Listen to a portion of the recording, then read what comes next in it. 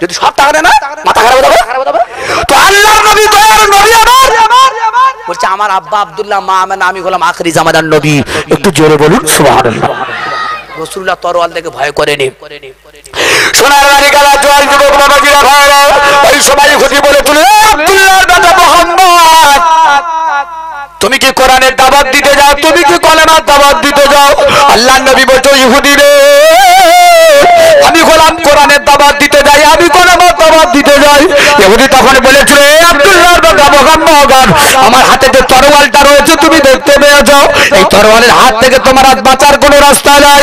এ আব্দুল্লাহর দাদা মোহাম্মদ, তুমি একবার বলো, আমার এই তরোয়ালের হাত থেকে তোমার কে বাঁচাবে? আমার এই তরোয়ালের হাত থেকে তোমাকে দুটো টুকরো করে শহীদ করে দেওয়া হবে।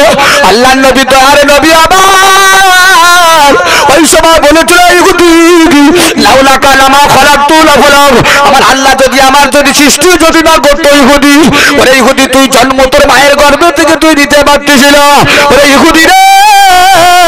আমি আল্লাহ নবী তোর তরোয়াল থেকে ভয় করি না করি না।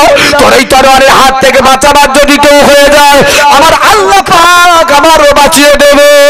বলুন, সুবহানাল্লাহ। ইহুদি বলছে নবী বলছে এই মাথা মোটা ইহুদি, তুই আমার মাছ জবাই করতে চাইছি বলে? হ্যাঁ তরোয়াল দেখে তোর শেষ করে দেবো। নবী বলছেন, তোর এত বড় ক্ষমতা কে দিস রে? তোর তরোয়াল দেখে আমি ভয় করি, আমার আল্লাহ বাঁচাবে তরোয়াল। ব্যাস ব্যাস। ওই মাথা মাথা ইহুদি বলেছিল আব্দুল্লাহর বাবা মোহাম্মদ। তোর আল্লাহ কীরকম বাঁচায় আমি দেখে নেব, তুই তৈরি হয়ে যা। এ মোহাম্মদ, তুই রেডি হয়ে যা। ইহুদি নবী মারার জন্য তরবালটা গর্দনের কাছে নিয়ে গেল। আমার আল্লাহ নবীকে বললেন নবী! তো তোমার কথা দিয়েছি সর্ব জায়গায় তোমার উপকার আমি করব। তোমার ইহুদি দেখে তোমার ভয় পেতে হবে না, নবী। ও নবী, তুমি একবার শোনো গো। ওই ইহুদি, তোমার যখন মারতে যাবে, আমি আল্লাহ আমার তরফ থেকে ইহুদির মাথা থেকে পা পর্যন্ত গোটা দেহটা আমি ভূমিকম্প চালু করে দেবো। ইহুদির মারতে মারতে মারতে মারতে যখন গিয়েছে, আমার আল্লাহ পাক ওই ইহুদির মাথা থেকে পা পর্যন্ত গোটা দেহটা টলমাল চালু করে দেখায় আল্লাহ নবী যখন মারতে গিয়েছে ইহুদি, ইহুদির হাত থেকে কাঁপতে কাঁপতে, ভূমিকম্পর মতো কাঁপতে কাঁপতে, ইহুদির তরবালটা রসুল্লার জমিনে পড়ে গেছে। জোরে বলুন, সুবহানাল্লাহ। আল্লাহ নবী ইহুদি তরবালটা তুলে নিল। আল্লাহ নবী বলতে ইহুদি রে তুমি তো একটুখানি আগে বলো মোস্তানি মেরেছিল আমাকে জবাই করার জন্য। এইবার তুমি বলো, তোমার তরোয়াল তো আমার হাতে এসে গেছে। আমার এই তরোয়ালের হাত থেকে তোমার কে বাঁচাবে একবারই হুদি বলো? হুদি তখন বলছে, আব্দুল্লাহর বেটা তরোয়ালটা তোমার হাতে কীভাবে গিয়েছে আমি জানি না। আমার এই তরোয়ালটা তোমার হাতে কেমন ভাবে গিয়েছে আমি বলতে পারব না। আরে আব্দুল্লাহর বেটা মোহাম্মদ, ওই তরোয়ালের হাত থেকে বাঁচাবার যদি কেউ হয়ে যায়, তুমি ছাড়া আমার আর কেউ আর বাঁচাতে পারবে না। আল্লাহ নবী তো আর নবী তখন বলেছিল, ইহুদি, তোমার তরোয়ালের হাত থেকে যেমন আমার আল্লাহ পাক আমাকে বাঁচিয়ে দিয়েছে, তবে আমি রসুল্লাহ বলে দিই, আমার এই হাত থেকে আমার আল্লাহ পাক তোমাকে বাঁচিয়ে দেবে। বলুন ইহুদির চোখের বাড়ি ঝরঝর করে বার হয়ে যায়। ইহুদি বলছে হাবিবাল্লাহ আজকে তুমি এত মহামানব আমার জীবনে জানা ছিল না। তুমি আজকে তোমার হাতটা আমার দিকে একবার লম্বা করে দাও। আমি তোমার হাতে কলেমা পড়ে দিয়ে আমি জীবনের মতো মুসলমান হয়ে যাব। বলুন, সুবহানাল্লাহ। আবাব যে ইহুদি আমার নবীর মারার জন্য রেডি তৈরি হ জবাই করে দেবো। কোরআনের দাওয়াত, কলেমার দাওয়াত, নামাজের কথা, শেষ হবে। সেই ইহুদি আমার নবীর ব্যবহার দেখে খুলুসিয়ার দেখে অবাব আমার নবীর জায়গায় যদি আমি থাকতাম আমার মনে হয় ওর চোদ্দ টুকরো করতুম। আগে গোলা কোমর হাত পা সব টুকরো করে দিতুম। আমার নবী বলছেন ইহুদি তুমি আমার মারার জন্য তৈরি ছিলে তাই বলে আমি আল্লাহর নবী তোমাকে বদলা নেব প্রতিশোধ নেব আমার আল্লাহ এর জন্য তৈরি করেনি। শোনো শোনো তোমার যদি বাঁচাবার যদি কেউ হয় আল্লাহ তোমার বাঁচাবে। যেই বলেছে আল্লাহ বাঁচাবে। তখন বলছে ও মহামানব তুমি একই মানুষ। তোমার হাতে আমি কলেমা পড়ে মুসলমান হই। সঙ্গে সঙ্গে রসুল্লাহ হাতটা বাড়িয়ে দিয়েছেন। ইহুদি সঙ্গে সঙ্গে নবীর হাতে কলেমা পড়ে বায়াত হয়ে মুসলমান হয়ে গেছে। জোরে বলুন। আমার সেই নবীর উম্মত গো বাপ। অভাব। আমার নবী বলেছেন যত নবী এসেছেন সমস্ত নবীর উম্মতেরা পাঁচশো বছর হাজার বছর তারা হায়াত পাবে জিন্দেগি বাদাত করবে। আমার নবী বলছেন আমার উম্মত পাঁচশো বছর তো দূরে করা ও তো একশো বছর বাঁচবে না। কিন্তু আমার উম্মত যদি তিরিশ বছর এবাদাত করে করে আমার তিরিশ বছর এবাদাত করার পরে আমার রসুল বলেছেন আমার উম্মতে মোহাম্মাদি আগেকার উম্মত থেকে আমার উম্মত আগে জান্নাতে ঘোরাফেরা করবে। চলে বলুন সুবাহ চা ঠিকানে জিনিস ভাবলেন বাপ। হ্যাঁ আপনারা মুসানবী শুনেছেন? মুসানবী গরম লোক না ঠান্ডা লোক জানেন? গরম না? বিশাল গরম। আর মুসানবী জোবানটা একটু তোতলা ছিল বাপ। জোবান কথা বলতে গেলে একটু বেঁধে যায়। অনেক মানুষ দেখবেন তোতলা মানুষ আছে। যদি তোতলা মানুষের রাগ খুব, তোতলা মানুষ যদি রাস্তাতে যায়, যদি কেউ পিছনে একটা ইট মারে না, সে পিছন থেকে শুধু গাল দেবে। তোর এই করব তো তাই করব। এত রাগি তোতলা লোক। মুসানবী তোতলা মানুষ ছিল বাপ। তো মুসা নবীর কাছে আমার আল্লাহ পাক আজরাইল ফেরেস্তার ডেকেছে বলে এই আজরাইল এখানে কি আছে আল্লাহ বলো। বলে এক কাজ কর আমি তোদের হুকুম দিচ্ছি আমার মুসা নবীরকে জান কবজ করে যা চল যা তোরা দুজন চল যা।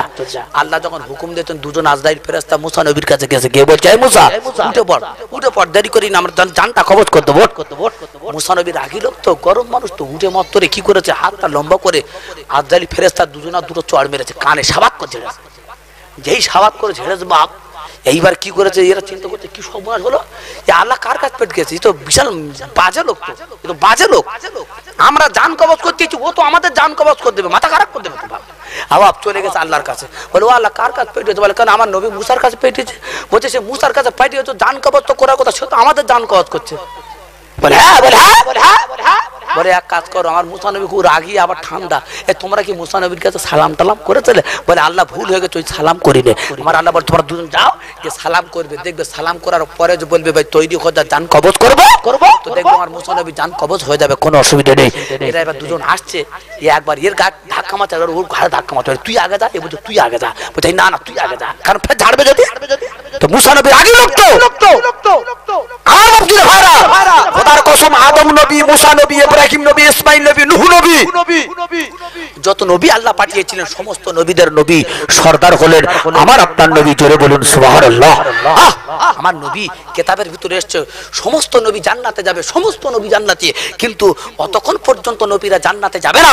ততক্ষণ পর্যন্ত আমার আপনার নবী কোন নবীর জন্য আল্লাহর কাছে সুপারিশ না করবে। তাহলে আমার নবী আর অন্যান্য নবী কি এক হয়, না আলাদা হলো বাপ ঠিক তাদুরু, আমার নবী বলেছে, অন্যান্য নবীর উম্মতরা পাঁচশো বছর বাঁচবে। আর আমার উম্মত যদি তিরিশ বছর বেঁচে যদি মারা যায় আমার নবী বলছেন অন্যান্য নবীর উম্মতের আগে আমার উম্মত আগে জান্নাতে যাবে। চাটিখানে যদি ভাবলেন আমার নবী যেমন আল্লাহ পাওয়ার দিয়েছেন আর উম্মতে মোহাম্মদ সেই রকম আমার আল্লাহ পাওয়ার দিয়েছেন। ভাবলেন কি করে? কি করে? কি করে? সোনার মালিকানা জল যুবক বাবাজিরা ভাড়া এটা হলো সামান্য সরচর এটা হলো রমজান মাস আগামীতে চলে আসবে। এ কোনো তো টুকরো বাবাজি। আল্লাহ নবী একদিন কাবা শরীফে চাতোয়ালে বসে আছে? আল্লাহ নবী কাবা শরীফে চাতোয়ালে বসতে বসতে দেখা যায়, কাবা শরীফকে হাঁটতে হাঁটতে ঘুরতে ঘুরতে দেখতে পায়। আল্লাহর নবী তো জাহাজের বাদশাহ। কাবা শরীফের চাতোয়ালে ঘুরতে ঘুরতে দেখা যায়, বাবা। একজন বৃদ্ধা মেয়ে ছেলে, একজন দুর্বল মেয়ে ছেলে, বিধবা মেয়ে ছেলে। স্বামী হারা মেয়ে ছেলে রোগে তার নাকে কিছুই নাই, তার কানে কিছুই নাই। বিধবা মেয়ে ছেলে কাবা শরীফে চাতোয়ালে বসে আছে। আল্লাহ নবী গিয়ে বলছেন, ও মা, চলুনি বৃদ্ধা তুমি এই কাবা শরীফের বসে বলো? ওই বৃদ্ধা মা বলেছিল, বাবা বাবা যুব তুমি যখন আমার কাছে এসে হাজির হয়েছো, বাবা, তুমি কি আমার একটা উপকার করে দিতে পারবে একবার বলো? আল্লাহ এই সময় বলেছিল, মা তোমার আমি কি উপকার করে দেবো একবার বলো? এই বৃদ্ধা মা তখন বলেছিল, বাবা জোহান ও বাবা, যুবক, আমি তো তোমার চিনতে পারিনি, বাবা, বুঝতে পারিনি। তবে আজকের একটা কথা শোনো, আব্দুল্লাহর বেটা মোহাম্মদ বলে একজন ছেলে আছে, সেই ছেলেটা একজন মিথ্যাবাদী ছেলে। বেটা মোহাম্মদ বলে একজন ছেলে আছে, সেই ছেলেটা একজন জাদুকর ছেলে। সেই ছেলেটা একজন ছেলে, একজন খুনি ব্যক্তি। ও বাবা, জোয়ান যুবক আজকে যদি বেটা মোহাম্মদ যদি আমার কাছে এসে যায়, ওই মোহাম্মদ আমার কাপড়ের নিয়ে পালিয়ে যাবে বাবা। আমার গর্দানটা কেটে জবাই করে শহীদ করে দেবে বাবা। তুমি কি আমার আব্দুল্লাহর বেটা মোহাম্মদের হাত থেকে তোমাকে বাঁচিয়ে দিতে পারবে বাবা, একবার বলো। আল্লাহ নবী বললেন, ও বাবা বৃদ্ধা মা জননী তোমার আব্দুল্লাহর বেটা মোহাম্মদের জন্য এত ভয়ে গেল। এই সময় বৃদ্ধা মা বলেছিল, বাবা জোয়ান, আজকে আমাদের লিডার আবু জেহেল বলেছিল খবরদার তোমরা আব্দুল্লাহ দাদা মোহাম্মদের হাত থেকে তোমরা বাঁচার চেষ্টা করো। সে একজন বাজে মার কাছে একজন মূর্খ, একজন জাহেল ছিল এ বাবা তোমার যুব তুমি কি আমার আব্দুল্লাহর দাদা মোহাম্মদের হাত থেকে বাঁচিয়ে দিতে পারবে বাবা। আল্লাহ নবী ওই সময় বলেছিল, ও মা জননী তোমার কত দূর দিয়ে আসতে হবে একবার বলো। আব্দুল্লাহর দাদা মোহাম্মদ তোমার দেখতে পাবে না, ক্ষতি করবে না। ওই বুড়ি মা বলেছিল, বাবা, জোয়ান যুবক, তুমি যদি আমার এক মাইল, দু মাইল যদি দিয়ে আসতে পারো বাবা, তাহলে আব্দুল্লাহর দাদা মোহাম্মদ আমার দেখতে পাবে না, ক্ষতি হবে না। বিশ্ব নবী আমার দয়ার নবী আমার, সঙ্গে সঙ্গে নিজে হাতে করে ওই বুড়িমার কাপড়ের পুডলিটা রসুল্লাহ, মাথায় করে তুলে নিয়েছে। তুলে নিয়ে বৃদ্ধা মায়ের দুটো হাত কানা জড়িয়ে ধরলো। ও মা জননী, বৃদ্ধা মা, খবরদার, তুমি আব্দুল্লাহর বাবা মোহাম্মদের জন্য এত ভয় পেও না। তুমি আস্তে আস্তে আস্তে আস্তে করে চলো বাবা গো। আল্লাহ নবী যখন এক মাইল, দু মাইল যখন নিয়ে চলে গেল আল্লাহ নবী বললেন, ও মা জননী, বৃদ্ধা মা তোমার আর কত দূর দিয়ে আসতে হবে একবার বলো? বৃদ্ধা মা বলেছ বাবা জোয়ান তোমার হাত যেতে হবে না বাবা। তুমি আবার এই জায়গাটা কাপড়ে পুল্লিটা নামিয়ে দাও। আল্লাহ নবী তো আর নবী আবার আস্তে আস্তে করে নিজে নিজে হাতে করে কাপড়ে পুল্লিটা নামিয়ে দিয়েছেন। নামিয়ে দেওয়ার পরে বললেন ও মা জননী তাহলে একবার আমি এইবার বাড়ির দিকে রওনা হয়ে যাগাই বৃদ্ধা মা বলেছিল, ও বাবা যুব। তুমি আবার এত বড় উপকার করে দিয়েছ বাবা। তুমি বাড়িতে যাবে, যাও, আমার আপত্তি হবে না তবে তোমার আব্বার নাম, তোমার বায়ের নাম, তোমার পরিচয়টা কি আমাকে একবার দিতে পারবে বাবা? আল্লাহ নবী বললেন, ও বা জননী তুমি আমার পরিচয়টা আমার বাপের মায়ের নামটা শোনার পরে কি লাভ হবে বলো? বৃদ্ধা মা বলছে, বাবা, তুমি আমার এত বড় উপকার করে দিয়েছ বাবা। আব্দুল্লাহর বেটা মোহাম্মদ আমার আরও ক্ষতি করবে আমি তোমার জন্য দুটো হাত তুলে একটু আশীর্বাদ করে দেবো, গো। তুমি একবার তোমার আব্বার নামটা একবার বলো। আল্লাহ নবীর চোখের বাড়িতে জ্বর করে বার হয়ে যায়। দুই মা বলছে, ও বাবা জোয়ান যুব, তোমার চোখের পানি কেন এত জ্বর করে বার হয়ে যায়। আল্লাহ নবী তখন বলেছিল, ও মা জননী শোনো শোনো আমার আব্বা হলো আব্দুল্লাহ হলাম আমার মা হলো আমেলা, আর আমি হলাম সেই আব্দুল্লাহর বেটা আখরি জামানার নবী। বলুন, সুবহানাল্লাহ। বুড়ি মা বলছে, তোমার নাম মোহাম্মদ? সত্যি কথা বলছো বাবা? আমি তো তোমার জন্য তো ভয় করে পালাচ্ছিলাম। তুমি নাকি খুনি, তুমি নাকি জাদুঘর, তুমি নাকি লম্পট, তুমি নাকি চিটিংবাজ, তুমি নাকি? আল্লাহ নবী বলছেন, মা বুড়ি মা আমার আব্বা আবদুল্লাহ, আমার মা বেলা আমি বললাম সেই চিটিং বাজ আমার নাম মোহাম্মদ।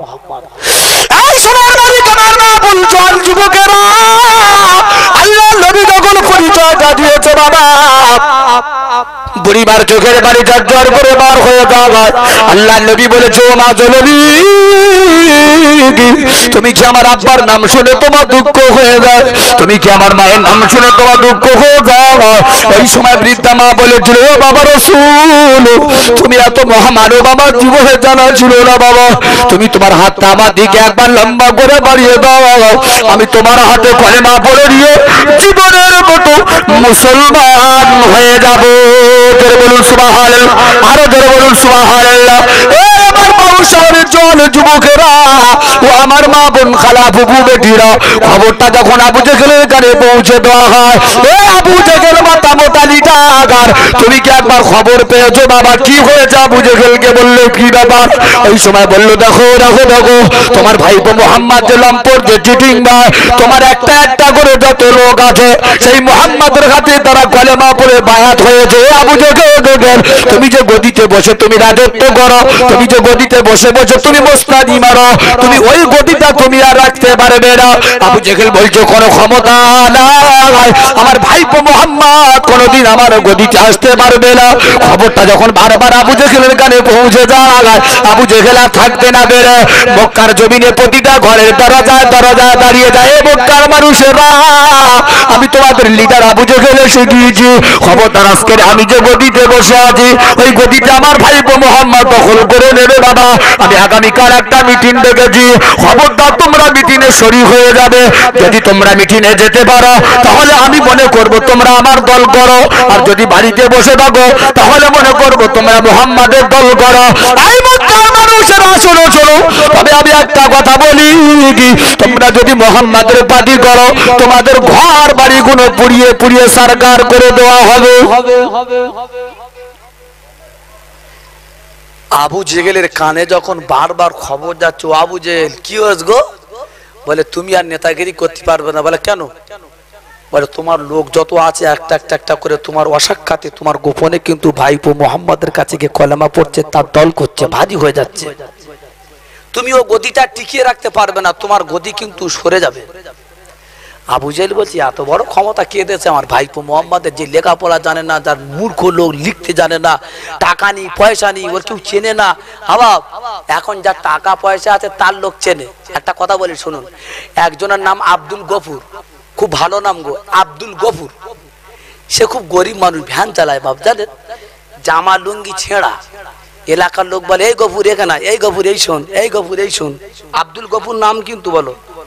গরিব মানুষ তো, ভ্যান চালায় বলছে, এই গফুর, এখানে। এখন ওই গফুর কি করেছে বা ভ্যান চাইলে চেলে চেলে অনেক টাকা ইনকাম করে তিনতলা বিল্ডিং করেছে, টাটা সময় কিনে বাড়ির সামনে রেখেছে এলাকার লোক তখন ডেকে বলছে, ও আব্দুল গফুর ভাই, ও আব্দুল গফুর ভাই, এখানে আছো চেয়ারে কি গো, তাহলে যখন টাকা নিই তখন বলছে, এই গফুর, এখানে। আর যখন গাড়ি বাড়ি যখন হয়ে গেছে, তখন ও আব্দুল গফুর ভাই চেয়ারে বসো তাহলে বর্তমান সমাজে যার টাকা আছে, তার চিনবে, আর যার টাকা নেই, তার তার ধারে বাড়ি কেউ যাবে না। বাবা আমার টাকা আছে আমি আসামি আমার বিচার হবে। আমার টাকা আছে আমি কিন্তু আসামি বলো জবাই করে দিয়েছি। বিচারে মেরে দিলাম এক গাবলা এক লাখ টাকা। কমরেটটা বলছে এই ওর কোনো দোষ নেই ও ভালো। মাল পড়ে গেছে তো কি গো? কি গো? কি গো? কি গো? টাকা তা চিনবে টাকা নেই গফুর এখানে আর টাকা হয়ে গেছে আব্দুল গফুর এখানে চেয়ারে আয়। আবু জহল বলছো? ওর কেউ চেনে না ও আমার গদি আসবে হতে পারে কোনোদিন ওর কেউ চেনে না। তো এসে যদি বলে মোহাম্মদ বাড়ি যাব কই দেখা? বলে আর চিনতে পারি না। আর আমার নাম করলি ওই যে বাড়ি। তাহলে? আবু জহেল সঙ্গে সঙ্গে কি করেছে বাবা। নিজের গদিটাকে বাঁচাবার জন্য হাজার হাজার লোক এসে মিটিংয়ে হাজির হয়ে যায়। হাজার হাজার মিটিং যখন লোক এসে যায়, আবু জেহেল দেখে মনটা বলো, নরম হয়ে গেল? না না। আমার সব লোক আমার এসেছে। মোহাম্মদের কোন লোক নাই, কোন লোক না গায় আবু জেহেল দাঁড়িয়ে গিয়ে বলছেন, দেখো দেখো, আমি তোমাদের এতগুলো লোকের ডাকার কারণটা হলো আমার মেন বক্তব্য তোমরা শোনো। আমি যে গদিতে তোমরা বসিয়ে রেখেছো ওই গদিটা আমি বসবো না, আমার ভাইপো মোহাম্মদ বসবে তোমরা কি বলছো একবার বলো? সঙ্গে সঙ্গে বলে চলে আবু জেহেল, আপনার ভাইপো মোহাম্মদের টাকা নাই, পয়সা নাই, সম্পদ নাই। আপনার ভাইপোকে কেউ চেনে না। ও আবু জেহেল বল, কেন আপনি আপনার জায়গা মোহাম্মদ বলবে? হতে পারে না পারে না। আবু জেহেল বলেছিল চলো তোমরা যদি আমার ওই গদিতে যদি বসিয়ে রাখতে পারো, তাহলে একটা কাজ করতে হবে তোমাদের। কি বলছো বলো আমার ভাইপো মোহাম্মদকে জবাই করে দিতে হবে। জবাই যদি না করে দেওয়া হয় তাহলে আমার গদিটা কিন্তু দখল করে নেবে। তবে খবরদার যারা মোহাম্মদের যাবে, তার হাত ভেঙে দিলে হবে না, পা কেটে দিলে মোহাম্মদের হবে না। ওকে কেটে দুটো টুকরো করে শহীদ করে দিতে হবে, বাবা। ওই সময় ওমর বলেছিল জেগে আমি তোমার কথাটা শুনে নিলাম, একবারে চলো চলো আমার একবার যদি হুকুম দিতে পারো, আমি আবু জেগেল তোমার কথা শুনে বলে দিলাম, আমি ওমর। আমি এই তরওয়ালটা দিয়ে মোহাম্মদের জবাই করে দিয়ে দেবো বাবাজিরা ভাইরা আবু জেগেল বলেছিল একা তুমি কেউ পারবে না তুমি মোহাম্মদকে জবাই করে দিয়ে দাও। কোনো চিন্তা তোমার করতে হবে না। আমি হলাম এলাকার লিডার তোমার পিছনে যদি পুলিশ, যদি পিছনে ধাওয়া করে দে, আমি আবু পুলিশকে নিষেধ করে দেবো। আমার এলাকায় ঢুকবে না। আপনারা হয়তো জানেন না বাবা। দেখবেন যদি এই এলাকার মানুষ যদি একজন লিডার হয়ে যায়, এই এলাকার মানুষ যদি একজন আসামি যদি হয়ে যায়, তখন পুলিশ যদি আসামিটা ধরতে যদি আসে, এই এলাকার লিডার বলবে ভাই খবরদার, তুমি আমার এখানে ঢুকবে না। পুলিশের বাপের ক্ষমতা নাই ওই এলাকা ঢোকার জন্য। আবু জাগার এলাকার লিডার আবু জাগাল বলছে শত্রু, তোমার পুলিশ ধরতে পারবে না, তুমি যাও। মতো অবস্থায় যেতে যেতে যেতে যেতে বাবা রাস্তার মাঝখানে আটকে পড়ে গেল, ধরা পড়ে গেল। নাইম বলে, নবীর একজন সাহাবা। সঙ্গে সঙ্গে ওমরকে আটকে দিয়ে বলছে, ভাই ওমর, তুমি এত দ্রুত বেগে তরবালটা দিয়ে কোথায় চলেছো ভাই? ওমর একবার বলো। ওমর বলছে, "এ নাইম আব্দুল্লাহ। আমাদের লিডার আবু জেহেলের গদিটা দখল করে নেবে সেই মোহাম্মদ। সেই মোহাম্মদের আমি জবাই না করা পর্যন্ত আমি কোনো মতে আমি এদিকে ফিরতে পারব না। বিশ্ব নবী, দয়ার নবী আমার। দুটো হাত আল্লাহর কাছে তুলে বললেন, আল্লাহ আজকের আমি আবু জেহেল ওমর, এই দুজনার জন্য আমার বড় ভয় হয়েছে। আল্লাহ দুজনার ভিতরে কেউ একজন যদি আমার হাতে কলেমা যদি পড়ে, দুজনার ভিতরে একজন যদি আমার হাতে বায়াত হয়ে যায়, তবে আল্লাহ পাক আমার পিছনে আর কোনো সমস্যা দেখা দেবে না। আমার আল্লাহ বলে আমার নবী, আমার হাবিব, আমি তোমার জন্য তো বলে দিয়েছি, নাসরুম মিনাল্লাহি আবাদুন করে। তোমার কোন বেঈমান বেদিন তোমার ক্ষতি করবে না নবী কি? আমি আল্লাহ তোমার সর্ব জায়গা তোমার উপকার করব। ওগো আমার হাবিবরে, আমার নবী আমি আল্লাহ পাক তোমার জন্য বলে দিই, শোনো শোনো, যে হাজার হাজার লোকের সামনে ওপর কথা দিয়েছিল তোমাকে জবাই করার জন্য। আমি আল্লাহ বলে দিলাম, নবী কি ওই ওমর তোমার আঘাতে কলেমা পড়ে মুসলমান হয়ে যাবে। জোরে বলুন, সুবহান। আবার তো দানা নারাই তো বীর। জোরে বলো নারাই দেখব। এই আল্লাহ যখন আমার নবীর দায়িত্ব নিয়েছে, আমার নবীর পিছনে কোনো সমস্যা ঘটবে বলে মনে হয়? আল্লাহ যদি আমাদের বলতে এই বাবু শহরের লোকেরা বাবু শহরের বাড়ি তোমাদের তোমরা যারা জলসায় আছো, তোমরা নামাজ পড়বে না, রোজা করবে না, গাঁজা খাও, মদ খাও, জেনা করো ব্যবিচারি করো, সুদ খাও।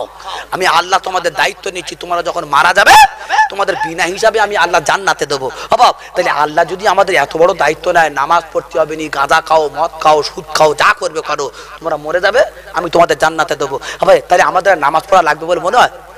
আর আমি যদি আপনাদের বলি, ও ভাই, তোমাদের নামাজ পড়তে হবে না, আমি দায়িত্ব নিচ্ছি, তোমরা জান্নাতে যাবে। এলাকার লোক বলি, এই একটা মাওলা সাহেব এসে সত্যি একটা ওয়াজ করে গেল যে নামাজ পড়তে হবে না, মাওলানা দায়িত্ব নিচ্ছে। ফের বলবে, এই সঙ্গে সঙ্গে দাও তালিকা দে, ফের আর বছর এই ওয়াজ হবে। আমার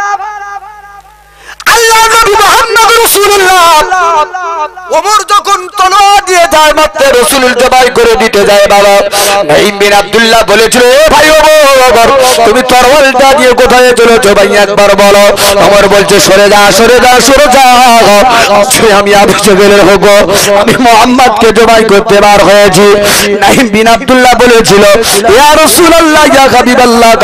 আপনি মোহাম্মদের জবাই করতে যাবেন আমার আপত্তি হবে না। আপনি কি আমার কথা একটা শুনতে পারবেন একবার বলুন ওমর বলছে নাইম বিন আব্দুল্লাহ। কি তুমি বলবে? একবার তাড়াতাড়ি করে বলো গো। নাইম বিন আব্দুল্লাহ বলেছিল, ভাই তুমি জবাই করতে চলেছো, বাবা। সেই মুহাম্মাদের হাতে তোমার নিজের বোন আর বোনা গায়। আল্লাহ নবীর হাতে কলেমা পড়ে, তারা জীবনের মতো মুসলমান হয়ে গেছে। বলুন, সুবহানাল্লাহ। ওমর খুব রাগী লোক, বাবা। আমাদের এলাকায় যারা বাচ্চা ছেলে, যারা মায়ের দুধ খায়, যখন কান্নাকাটি করে তখন বাপ মা যখন ওই ছেলেকে চুপ করার জন্য ভয় দেখায়, এই চুপ কর, বাঘ আসছে, সিংহ আসছে, কুকুর আসছে, পাগল আসছে। কিরম বলে না? এই পাগল আসছে, চুপ কর। আর মক্কার ছেলে মেয়েরা যখন কান্নাকাটি করতো বাপ তো মক্কার মেয়েরা বলতো, এই, চুপ কর ওমর আসছে। খোদার কসম ওমরের কথা শোনার সাথে সাথে বাচ্চারা একেবারে চুপ করে যেত। জোরে বলুন সুভার তাহলে কত বাজে লোক বলেন দিন ওমর কত বাজে লোক? বিশাল লাগিল? এই আমার মা শহরের মা বল খারাপ উপকারীরা ওমর তখন বলছে, কোনোদিন এটা হতে পারে না। আমার বোন বোনাই কোনোদিন এসব কাজ করতে পারে না। আমার নবী দুটো হাত তুলে যখন দোয়া করেছেন দুজনের জন্য, আমার নবী পাকের দোয়াটা আমার আল্লাহ পাকের কাছে কবুল হয়ে গেছে। জোরে বলুন, সুবহানাল্লাহ। আরও জোরে বলুন, সুবহানাল্লাহ। সোনার মালিকেরা রে, ওমর ওই তরোয়াল নিয়ে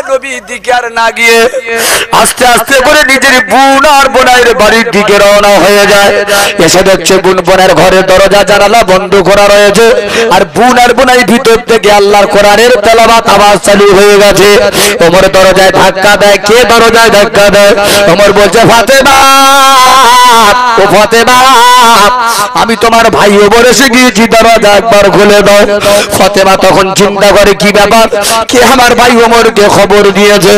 মনে হয় আমাদের দুজনকে আর বাঁচাবে না, আর দুজনকে আর বাঁচাবে না।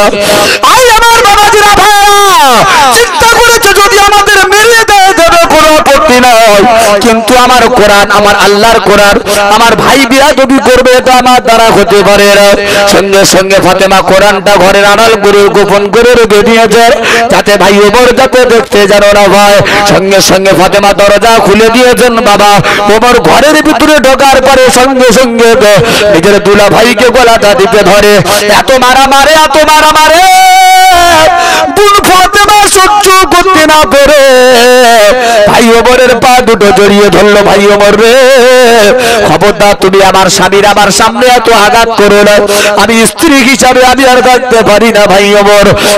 স্বামীকে ছেড়ে দিয়ে, তুমি আমার ভাই, আমি তোমার বোন। তুমি আমাকে অত্যাচার করো সঙ্গে সঙ্গে নিজের দুলা ভাইকে ছেড়ে দিয়ে ফাতেমাকে ধরলেন। এত মারা মারে এত ভাই ওমরের পা জড়িয়ে ধরে বলে, ভাই গো তোমার কি আমার দিকে দয়া হয় না, আমার দিকে মায়া হয় না? ওমর বলছে, ফাতেমা, তোমরা কি ঘরের ভিতরে আওয়াজ করেছিলে বলো? ফাতেমা বলছে, ভাই রে, আমরা তোমার থেকে ভয় করি না করি না। তোমরা যদি আমাদের দুজনকে যদি মেরে দাও, তবে আমাদের আপত্তি হবে না। তবে আমরা আল্লাহর একমাত্র ভয় করি কি? আমরা ঘরের ভিতরে দুই স্বামী, স্ত্রী, আমার আল্লাহ পাকের কোরআন তেলাবাদ করেছিলাম। বলুন, সুবহানাল্লাহ। ফতেমা ভয় করে না, দেয়? আমরা আল্লাহর ভয় করি। আবার একটা কথা বলি, এবার শুনুন। একজন লোক বিয়ে করেছে, তার দুটো ছেলে হয়েছে। বুঝতে পারছেন? তো বড় ছেলেটার বিয়ে দেওয়ার পরে বাপটা মরে গেছে। আর ছোট ছেলেটার আট বছর বয়স, বাপটা মারা যাওয়ার পরে ছোট ছেলেটা খুব কাঁদছে।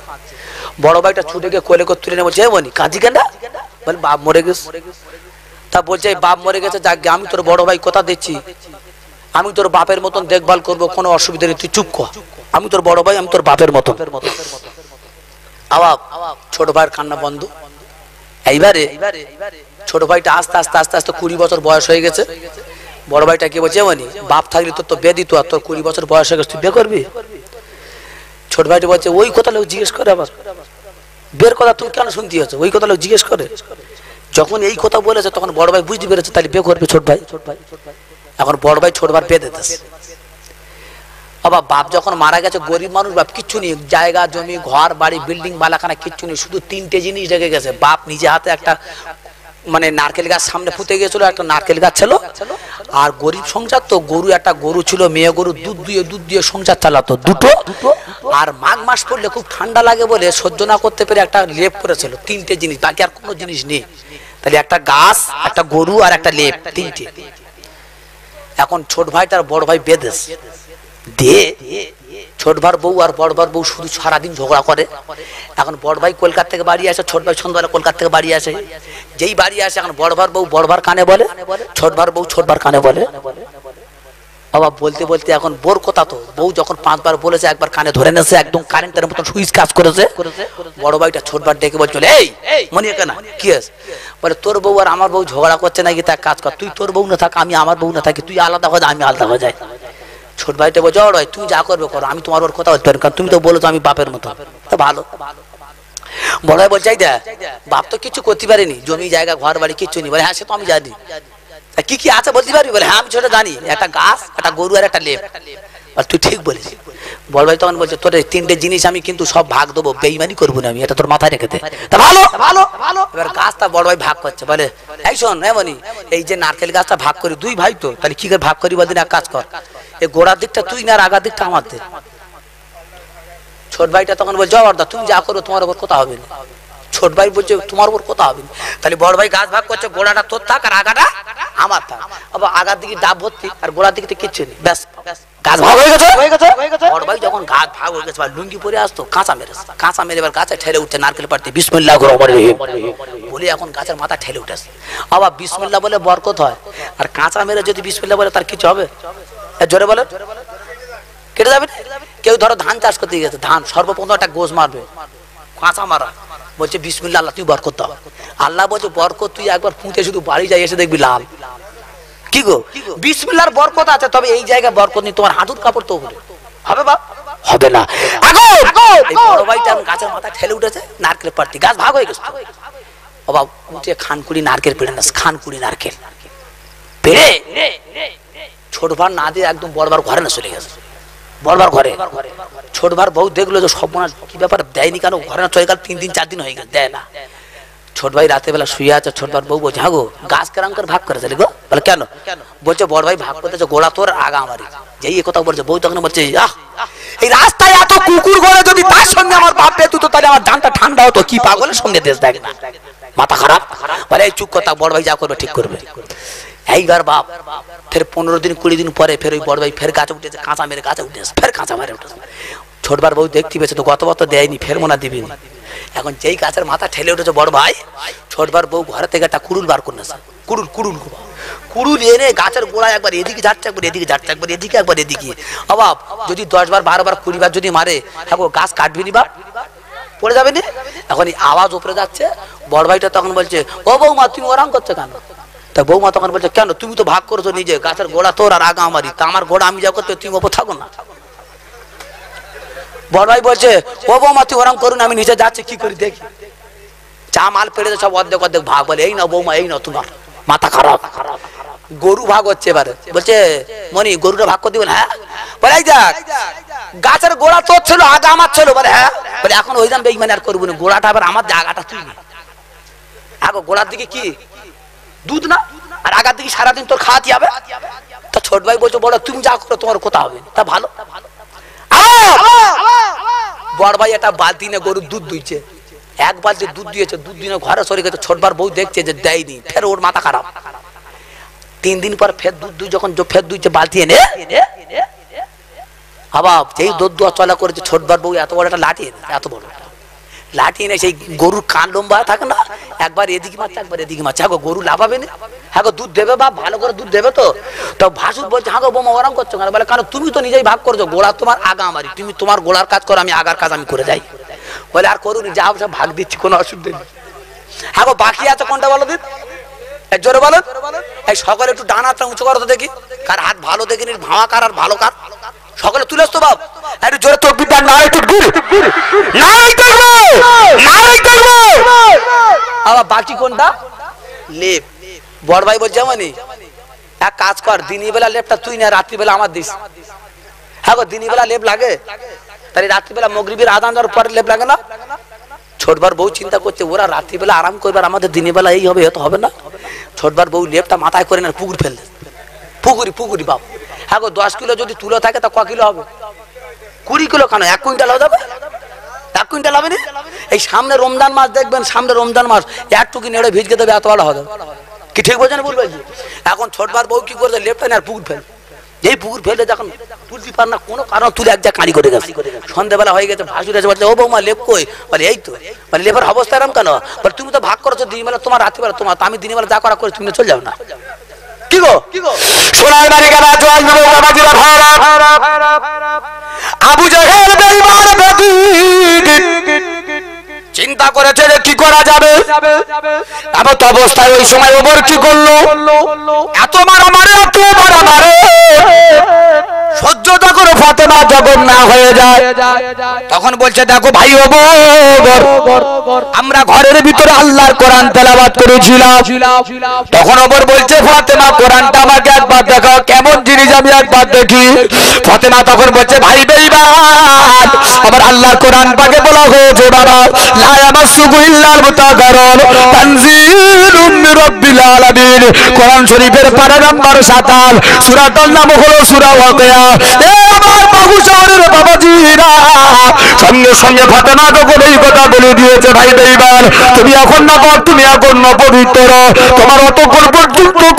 দেখানো যাবে না তুমি পবিত্রতা না তুমি পর্যন্ত না করবে, ততক্ষণ পর্যন্ত তোমার কোরআন দেখানো যাবে না। আমার বাবাজিরা ভাইরা আমার নবী পাকের দোয়াটা ওমরের জন্য কবুল হয়ে গিয়েছে বাবা। দৌড়ে দৌড়ে ওমর গোসল করল অজু তৈরি করল। এসে বলছে বোন ফাতেমা, ও বোন তুমি একবার কোরআনটা আমাকে একবার দেখিয়ে দাও দেখিয়ে দাও। সঙ্গে সঙ্গে ফাতেমা একটু কোরআনের অংশ বার করে দিয়েছেন। বিসমিল্লাহির রহমানির রহিম। ইন্না দিয়ানাল্লাহু লা ইলাহা ইল্লা আনা ফাবুদুনি ওয়া আকিমুস সালাতা লিযিকরি। কোরআন শরীফের পারা নাম্বার 16 সূরাটার নাম হলো সুরাত ভাই কালকার বুবু বেটিরা, সঙ্গে সঙ্গে ফাতেমা যখন এই আয়াতটা যখন শুনিয়ে দিয়েছে, বাবা গাও আল্লাহর কোরআনের এত পাওয়ার, আল্লাহর কোরআনের এত দাম রয়েছে। ওমরের অন্তরটা বড় নরম হয়ে যায়। ওমর তখন বলছে ওবুন ফাতেমা, কি জিনিস তুমি আমাকে শুনিয়ে দিয়েছ ফাতেমা? তুমি এখনই আমার নবীর কাছে নিয়ে চলো। আমি ওমর নবীর কাছে করে মা পড়ে, আমি জীবনের মতো মুসলমান হয়ে যাব। বলুন সুবহান আরও জোরে বলুন সুবহান আল্লাহ নবীর দিকে ওমর গুটি গুটি গুটি গুটি যখন যায় আল্লাহ নবী সাহাবারা নবীর পাশে দাঁড়িয়ে রয়েছে। ইয়া রাসূলুল্লাহ, ইয়া আপনার চির দুশ্মন যার নাম অমর। হুজুর আপনার দিকে আসছে, হুজুর আপনাকে মেরে দেবে নবী। আপনি একটুখানি গোপন ভাবে লুকিয়ে যান লুকিয়ে যান। আল্লাহ নবী বললে রে আমার সাহাবারা খবরদার, তোমরা জানো ওমরকে বাধা দিও না তোমরা। আমার আল্লাহ পাক আমাকে বলে দিয়েছেন, কুল ইন্নামা আনা বাশারুম মিসলুকুম ইউহা ইলাইয়া। কোরআন শরীফের পারা নাম্বার 16 সূরাটার নাম হলো সূরা কাহার আমার আল্লাহ নবী বলে রে আমার সাহাবারা! আমার আল্লাহ পাক আমাকে ওহি করে বলে দিয়েছে যে আজকের ওমর তোমার হাতে কলেমা পড়বে। নবী বলছেন, সাহাবা খবরদার, ওমরকে আমার কাছে আসতে দাও। আল্লাহ নবীর কাছে ওমর যখন চলে গিয়েছে, বাবা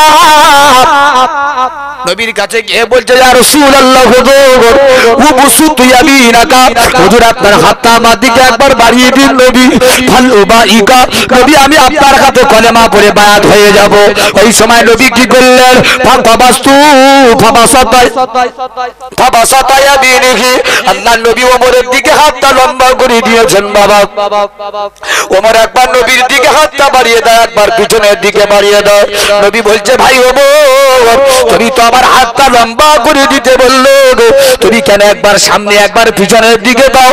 ওমর বলছে, ইয়া হুজুর আজকে আপনার হাতটা হলো পবিত্র ঘর, আমি আমার হাতটা হলো পবিত্র ঘর। ইয়া আমি যদি আপনার হাতে হাত দিয়ে দিই, তাহলে আমার কি জীবনের গুনাহ হয়ে যাবে? এই সময় নবী বলছেন, আমা আলিম তাইয়া এ ওমর, তুমি কি জানো না? জানো না। আন্নাল ইসলাম ইয়াহদিবু মা কানা আল্লাহ নবী বলছে ভাই ওমর, তুমি যদি আমার হাতে একবার হাত দিয়ে দাও আমার আল্লাহ তোমার জিন্দেগির গুনাহ মাফ করে দেবে। জোরে বলুন, সুবহানাল্লাহ।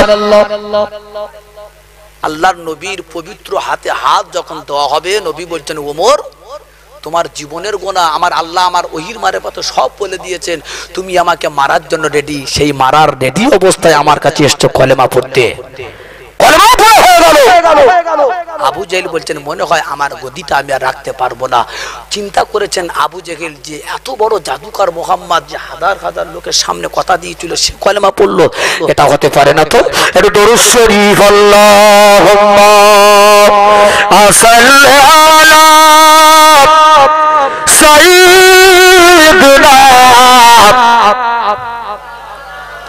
এটা সকলে প্রাণ ভরে পড়ব। আলা আলি সাইয়্যিদিনা।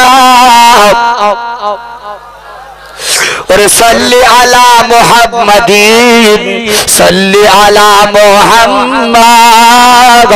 আর হরদম জবাসনি কালো, পাক নাম মুহাম্মাদ আল্লাহুম্মা। সাল্লি আলা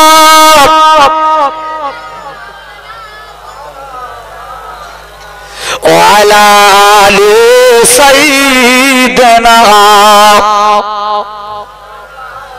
আমার সোনার চাঁদ আল্লাহ ওয়ালা আল্লাহ ভিরু আমার বাবাজিরা ভাইয়েরা আমার মা আমার বোনেরা আপনারা জ্ঞানী গুরি মানুষ আজকের আমরা উম্মত মোহাম্মদী আমরা সিলসিলায় ফুরফুরায় মুজাদ্দিদ জবান আমার দাদা হুজুর পীর কিবলা রহমাতুল্লাহ আলাইহির পথ ও মত এবং নীতির উপরে আমরা চলাফেরা করি আমার দাদা হুজুর পীর কিবলা রহমাতুল্লাহ আলাইহি খোদার কসম তিনি এমন একজন আল্লাহর অলি ছিল ফুরফুরা শরীফে আট চালায় যখন হুজুর কেবলা মুজাদ্দেদ জামান বক্তব্য করতেন, তো করতে করতে তখন বলেছিল, এই আমার ভক্ত মুরিদেরা, এই ফুরফুরা দরবার শরীফে একুশের বাইশ আর তেইশ সালে সবে স্বয়ং আমার বিশ্ব নবী ফুরফুরায় এসে হাজির হয়ে গেছে জোরে বলুন, সুবহানাল্লাহ। একটু জোরে বলবেন না, সুবহানাল্লাহ আবার দাদা হুজুর পীর কেবলা বলছেন, একুশ বাইশ, তেইশে ফুরফুরা শরীফে বিশ্ব নবী, শেষ নবী এসে হাজির হয়েছেন।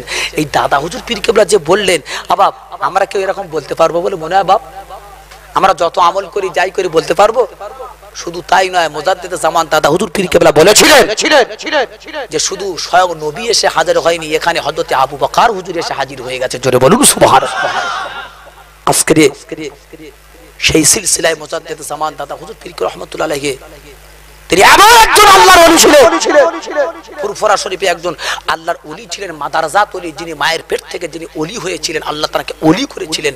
তার নাম হয়েছিল নাজমুস সাদাত। হুজুর পীর কেবলা তিনি আল্লাহর ওলি ছিলেন, মাদারজাত ওলি আবাব মাদারজাত ওলি একদিন হাঁটতে হাঁটতে হাঁটতে হাঁটতে গালের ভিতরে একটা পান ছিল, পান, চুনা সুবারির পান ছিল, বাপ। আমরা দেখবেন অনেক লোক আছে, বাপ। এই আপনাদের এখানে তাস খেলা হয়? তাস খেলা এই তাস খেলা করতে গেলে কটা লোক লাগে বলতে পারবে বাপ? চারটে, ঠিক বলেছেন। আর চারটে লোক থাকে আর পাশে বুদ্ধি দেওয়ার জন্য কটা লোক বসে থাকে। এই তুই ইস্কাউন মারবি না, টেক্কা মারবি, কটা লোক বলে? বলে, এই মাথা মাথা তুই এইটা মেরিস কেন? তুই এইটা যদি মারতিস, তোর এই পিঠটা হয়ে যেত। কেন বলে না লোক? এগুলো আমি দেখেছি, শুনেছি বাবু এই মাথা মোটা। আবার তাস খেলা করতে করতে গিয়ে আবার অনেক সময় মারামারি হয়। তুই বলিস কেন? টাকা দেওয়া দেই হচ্ছে। কি গো? আবাব তাস খেলা করছে বাপ আর বেটা তাস খেলা করছে আর বাপ বেটা বাপ বেটা। এখন বিড়ি ছেলে বিড়ি ধরে দিয়েছে ছেলে। এখন বিড়ি পিছনের দিকে সুতো জোড়ানো আছে পিছনের দিকে। এখন ছেলে বিড়ি খেতে খেতে পিছনে সুতোর কাজ চলে আসে বাপ বলছে এই মাথা মোটা তুই তো বিড়ি খেয়ে খেয়ে সুতোর কাজ গেছিস আমার একটা কখন দিবি? কি গো? শোনো! আজকের আপনারা জ্ঞানী মানুষ, আজকের আমরা অবাক কাণ্ড বুঝি আমরা মুসলমান। অবাব একজন বলছে, হুজুর, আমি শরিয়াত সম্পর্কে কিচ্ছু বুঝিনি, কিচ্ছু জানি না হুজুর, একটু বলে দেবে? কি মাথা মোটা লোক বলো দিন। ওই এটা জানে, ওই এটা জানে যে আজকের ভ্যান চালাচ্ছি, এই ভ্যানে চন্দনেশ্বরে যাব ক টাকা ভাড়া নেব, আর এখান থেকে জীবনতলা যাব, ক টাকা ভাড়া নেব, ওটাও খুব ভালো জানা আছে। চন্দন সারে ভাড়া একশো টাকা, জীবনতলা ভাড়া ছশো টাকা। এটা খুব ভালো বলতে পারো। এর গান এ জ্ঞান কাণ্ডটা খুব ভালো। সদিয়াতে এটা কি? হ্যাঁ বলো দিন সুরা ফাতে আমি বলতে পারব এই বলো দিন, পাঁচ অক্ট নামাজে কটা ফরজ? আমি বলতে পারব। হ্যাঁ? আর যদি বলে এই গানটা বলতে পারবি হ্যাঁ ও গানাই বলে দেবো। তো মাথা খারাপ আমার মুখ তো। আবার কিছু মনে করবেন না, আমরা মুসলমান, আজকের আমাদের পরিস্থিতি এই জায়গা।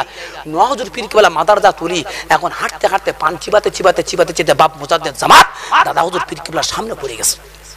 চিন্তা করল, আমার এই পান খাওয়াটা কি আমার আব্বা দেখতে পেল? আমি বড় বিয়াদি হয়ে গেল আর আমার বাপ বেটা বসে এক জায়গায় তাস খেলা করছে আর বিড়ি চেয়ে খাচ্ছে, মাথা খারাপ? চিন্তা করল, এই পান আমি আর জীবনে খাব না, আমার বাপ যেখানে অসম্মান হবে, এটা আমার দ্বারা সম্ভব নয়। বিশ্ব নবী মোহাম্মদ রসুল্লাহ মোজাদ্দেদ জামানকে স্বপ্ন দেখিয়েছেন, ও আল্লাহর অলি মোজাদ্দেদ জামান শোনো তোমার সম্মানার্থে তোমার বেটা নাজমুস সাদাত নহজুর কেবলা মাদারজাত ওলি ওলি পান খেয়ে খেয়ে যখন আমি রসুলুল্লাহ আমার মাদার মুকদ্দাসে আসে তখন আমি রসুলুল্লাহ মাদার মুকদ্দাসের ভিতর থেকে তোমার বেটার মুখের দিকে আমি তাকাই। সুন্দর মুখটা ভালো লাগতে দেখতে লাল হয় চোখটা আপনার জিভটা লাল হতো। পান খাওয়া যখন বন্ধ করে দিয়ে যখন আমার কাছে আসে আল্লাহর ওলি মোজাদ্দেদ জামান অতটা আমার আর ভালো লাগে না। যাও! আমি রাসূলুল্লাহ তোমার হুকুম দিচ্ছি তুমি নিজে হাতে পান সেজে তোমার বেটা নাজমুস সাদাত হাতে তুমি তুলে দাও জোরে বলুন সুবহানাল্লাহ। এই জোরে বলবেন না সুবহানাল্লাহ? নারাই তাকবীর আমার নবী মোহাম্মদ রসুল্লাহ মোজাদ্দেব জামানকে স্বপ্নে দেখিয়ে বলে দিল আমি রসুল্লাহ তোমাকে বলছি সুন্দর করে পান সাজাও সে যে তুমি তোমার বেটার হাতে তুলে দাও খাবে। আল্লাহর আলী বাজাতে জানার দাদা হুজুর পীর কেবলা, একটা সুন্দর করে পান তৈরি করে দিয়ে দাদা নাকুল সাদা হুজুরের কাছে চলে গেল। ও দাদা নাকুল সাদা, আমি তোমার আব্বা জান তোমার জন্য পান এনেছি, বাবা। সাদা হুজুর মনে করল, মনে হয় আমার আব্বা আমার পরীক্ষা করতে এসেছে। যদি মনে করে পানটা যদি নিই, মনে করবে পান খাওয়াটা এখন ছাড়িনি। যদি না নিই, তাহলে মনে করবে পান খাওয়াটা বন্ধ করে দিয়েছে। এই আমার মানুষের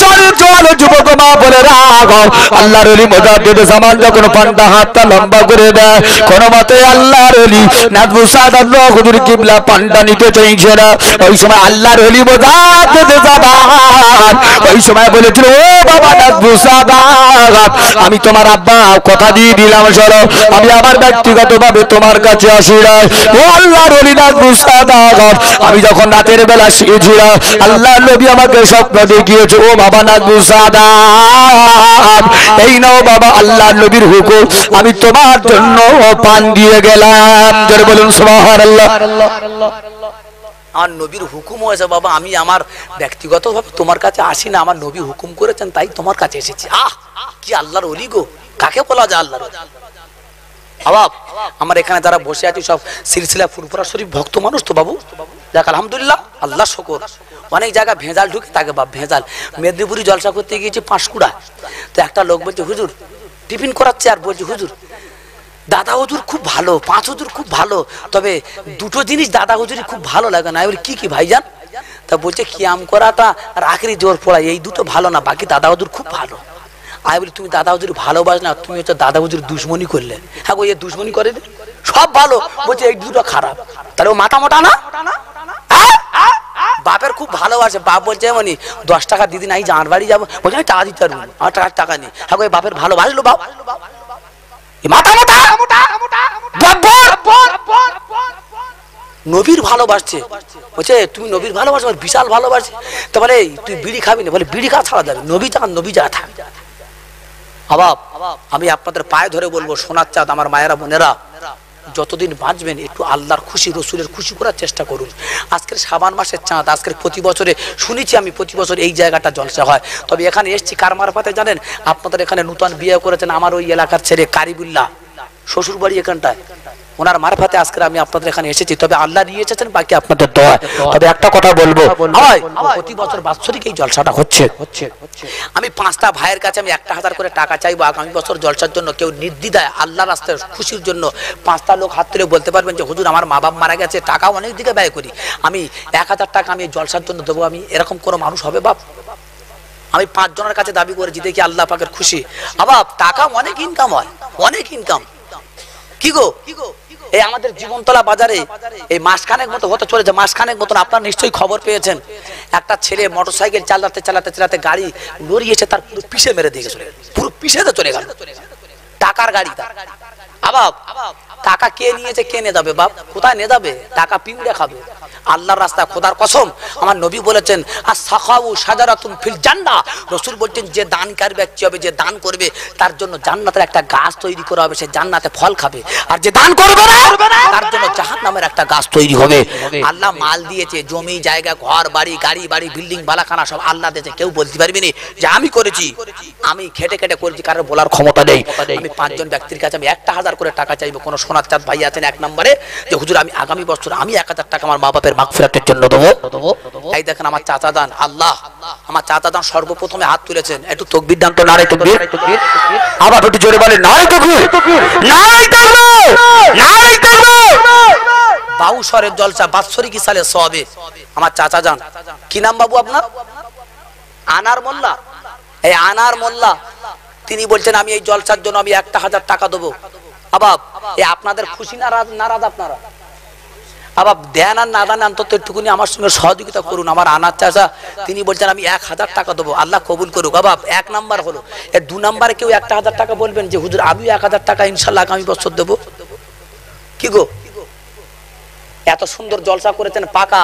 এ পাকা কি সুন্দর গরম লাগবে না যাতে কমিটি সে ব্যবস্থাও করেছেন আমাদের খাদেম ভাই জলসার দায়িত্ব আমি দেখছি, খাদেম আলী ভাই। যা খাদেম নাম আর খাদেম খেদমতেও ভালো লিপ্ত আছে ইনশাল্লাহ অসুবিধা নেই। আবার এই জলসার কমিটি সব নামাজ কালাম পড়ে তো নাকি? এই জলসার কমিটি ভাইরা খবরদার তোমরা নামাজ কালাম পড়বে কিন্তু বাপ।